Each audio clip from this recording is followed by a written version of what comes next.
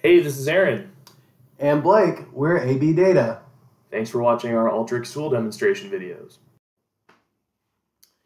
In this video, we're taking a look at the sample tool. The sample tool is a blue tool, so it's found in the preparation category.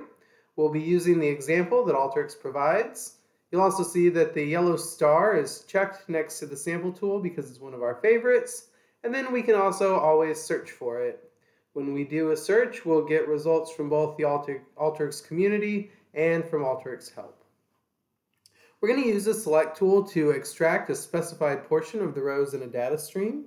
So here we're going to change the in number to 3, and we're going to select the first three rows. You'll see that we have three rows down in our results window.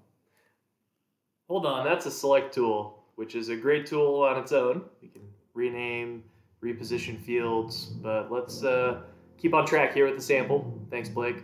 So here is uh, our ability to group columns in the second example.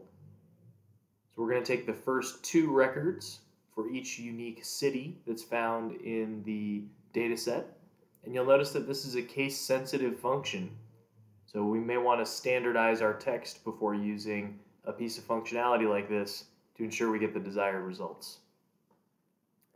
The next example we're going to look at is when we select one out of every n rows. So we're going to change our n here to 10, and that's going to give us every 10th row. So we're going to start with record number 1, and then we'll have 11, 21, 31, on and on, on to number 81. The uh, following example is going to be uh, similar, but it's going to give a random one and in, one and in chance for each row. So uh, you're not going to get a consistent number of records after you hit run. Um, right here, we said there's a 1 in 10 chance of each one coming up, but we only got 8 records when we did this.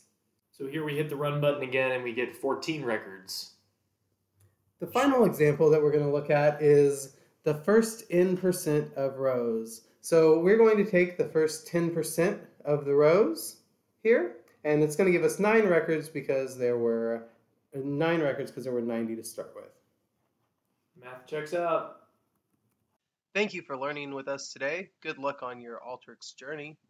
For more information on custom training, managed service automations, and more, please visit our website at abdataconsulting.com.